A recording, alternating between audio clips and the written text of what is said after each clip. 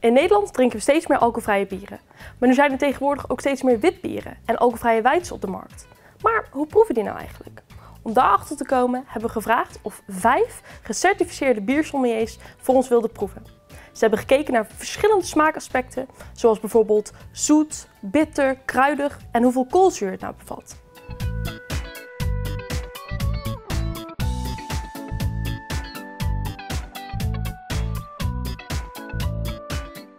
Ik wil graag van jullie horen wat jullie uh, indrukken zijn zo van uh, de eerste biertjes die je geproefd hebt. Ja, ik drink ze minder, uh, minder vaak en als ik dit zo proef, dan weet ik ook waarom.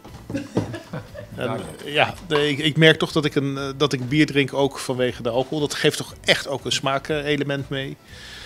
en tot nu toe, ja, er zijn er een paar die, die redelijk zijn. Maar er zijn ook een paar bij, dat, dat is echt een moedje. Er zijn bepaalde geuren in bieren die je niet heel graag wil. En dat zijn um, in deze voor een Weidse specifiek de, dierlijke geuren. We hadden gewoon mooie af en toe geitenstal. En wat ik dan zeg, een kinderboerderij in je neus. Wat ik net al aanhaalde is dat het voor mij eigenlijk allemaal een beetje naar overriet gaat. Maar dat komt denk ik omdat die, die bananengeur, die willen, ja, dat wil geaccentueerd worden, denk ik. En voor mij maakt een Weidse een Weidse juist die kruidigheid en wat echt afkomstig is van die gist.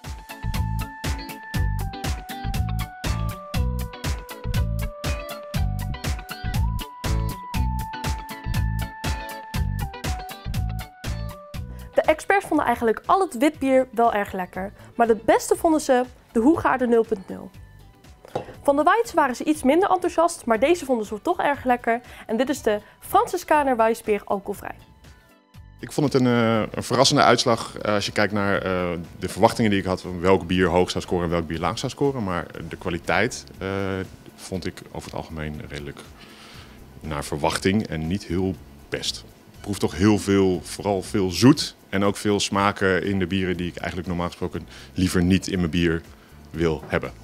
Nee, ik denk niet dat ik heel snel uh, een Weidse bier bestel. Misschien bij hoge uitzondering als het echt uh, nood aan de man is, maar verder niet. En de witbieren, um, nou, ik vond voornamelijk veel, veel sap uh, smaken. Dus veel, ik noemde er al een als perensap of orangina. Dat, nee, is voor mij geen wit bier. Als je alcoholvrij bieren wil gaan drinken, dan kun je beter wit bier kiezen dan Weidse.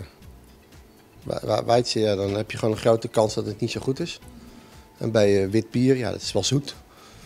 Maar uh, zeker als, als het dan koud is, dan is het wel goed te drinken. Dat wit toch beter alcoholarm te maken is dan, uh, dan Weidse. Waarschijnlijk omdat je met kruiden en, uh, en ook sinaasappelschillen kunt, kunt werken. Waardoor je het gebrek aan alcohol beter kunt verbloemen. dan gaan ze wel een beetje de limonade kant op. Weidse is echt wel niet eenvoudig omdat echt op een uh, met alcohol uh, te laten lijken. Uh, dan heb je echt volgens de reinheidsgebod echt ook alleen maar je, je hop, je water en je, en je mout om mee te spelen. En dan merk je dat brouwen met alcohol toch eigenlijk wel lekkerder is. Wil je nu meer weten over bijvoorbeeld de andere geteste bieren? Kijk dan even op de site.